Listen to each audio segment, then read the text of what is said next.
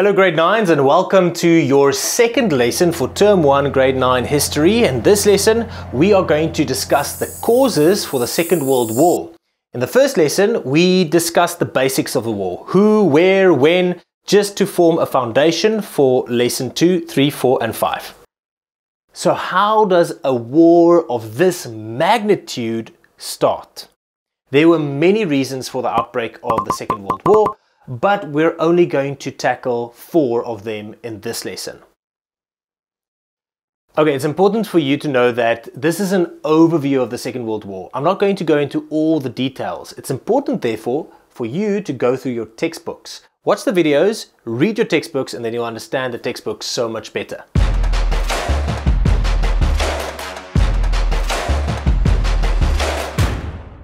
So in this lesson, we're going to start with the Treaty of Versailles, then we're going to look at Germany after the First World War, economically and politically, and then we're going to look at the rise of totalitarian regimes across the world.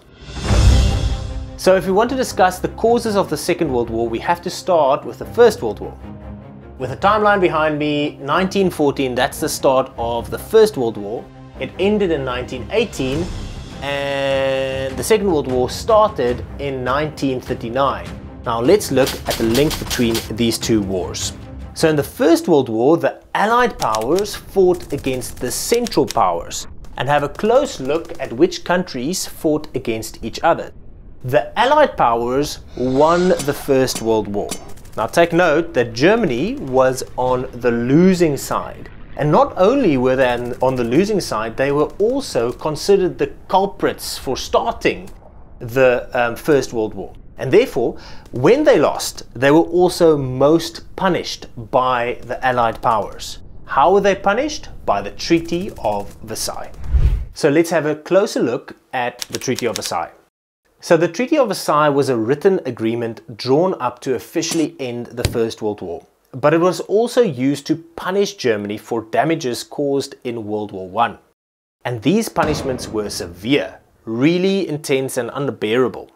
This 240 page document with over 400 conditions was designed with the aim of weakening Germany so that they would never again be such a military threat.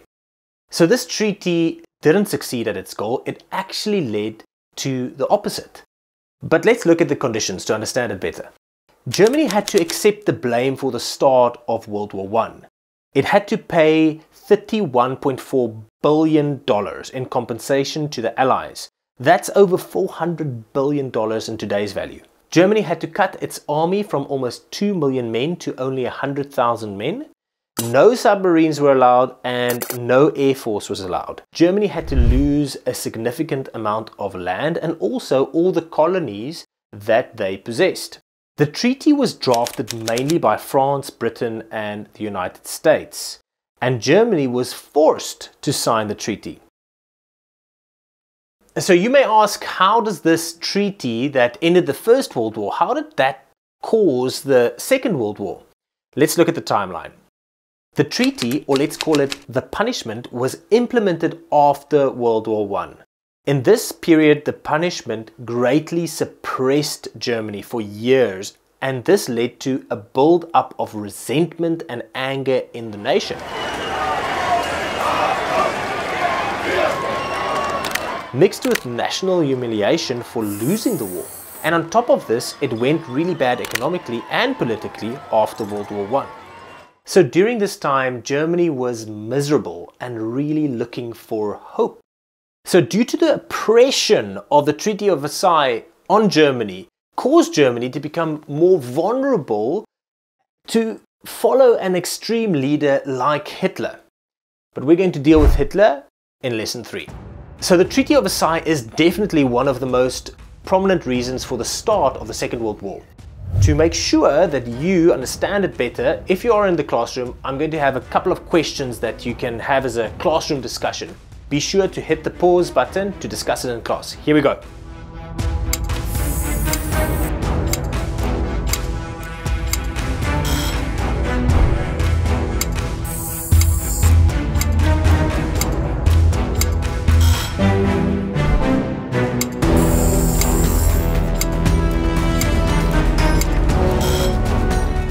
Okay, here are some possible answers for the questions that were raised. Be ready to pause.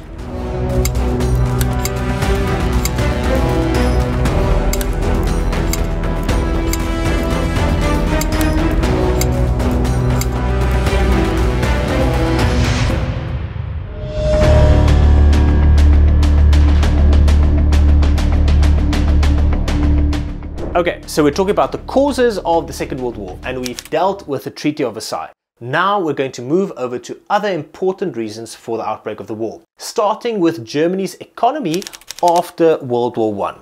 Germany struggled economically. In 1923, Germany experienced hyperinflation. Now, you probably don't know what hyperinflation means, but I will simplify it. Inflation decreases the value of a currency. So let me say that again. Inflation decreases the value of a currency. Or differently put, if you take 10 Rand, the worth of 10 Rand in 1970 is different to the worth of 10 Rand today. Let's look at an example. In 2010, a loaf of bread in South Africa cost around 7 Rand. And in 2020, the same loaf costs around 14 Rand. South Africa has an inflation rate of around 5%, meaning our currency becomes less valuable every year. Are you starting to understand? So imagine this inflation that usually happens over years happens over a few days. And that is hyperinflation. And that is very dangerous. And that is what happened in Germany. Now let's look at Germany. In January 1923, a loaf of bread cost 250 German mark.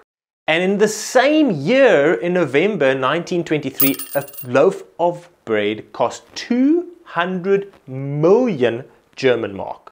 Now that is hyperinflation at its worst. Your money will literally not fit in your wallet. You will walk around like they literally did, buying stuff with trolleys full of money. Between 1924 and 1929, Germany started recovering well. But then the world went into an economic depression. We call it the Great Depression. Now, we're not going to go deep into the Great Depression. All you need to know at this stage is that the stock market in America crashed and that led to a global economic crisis. So let's summarize this section. In 1923, after World War I, hyperinflation hits Germany. It recovers a bit, and in 1929, the Great Depression hits. Now, you may wonder how does such an economic crisis contribute to the outbreak of World War II? An economic crisis makes the public more vulnerable to choose a radical leader like Hitler.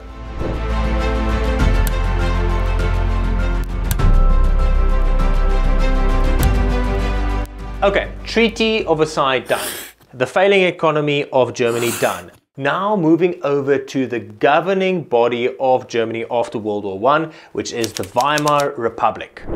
The Weimar Republic was the government that ruled Germany after World War I, and this government was responsible to implement the Treaty of Versailles. So the government was forced to impose this harsh punishment on Germany on their own people. So the Weimar Republic was hated by many Germans in this period of time as the government had to implement this treaty on its own people. So politically, what you need to remember is after World War I, Germany's government and political landscape was unstable. Okay, for a moment of time, let's zoom away from Germany after World War I and look at the political landscape outside of Germany, around Germany, the League of Nations. After World War I, the League of Nations was established to maintain world peace and prevent future conflicts. The League of Nations failed. Germany's political landscape was unstable and many other countries' political landscape was also unstable. And in this time, totalitarian regimes rose. A totalitarian regime is a type of government where one leader or party has complete control over all aspects of the country. So after World War I, we had the rise of Hitler in Germany, Benito Mussolini in Italy, military expansion under Emperor Hirohito in Japan, Joseph Stalin in the Soviet Union, And so the world at this stage had a fair amount of dictators, and this is a recipe for trouble. Which leads me to probably the biggest reason for the outbreak of World War II, the rise of this man, Adolf Hitler. And we will cover the rise and fall of Adolf Hitler in the following lesson. But let me end off with this metaphor. When there is a flu virus going around, and if you eat unhealthy food and don't sleep well in this time, your immune system is weakened. And it is more likely that you will get the virus. In the same way, these four factors that we discussed in this lesson weakened Germany and made them more vulnerable to the rise of a totalitarian regime.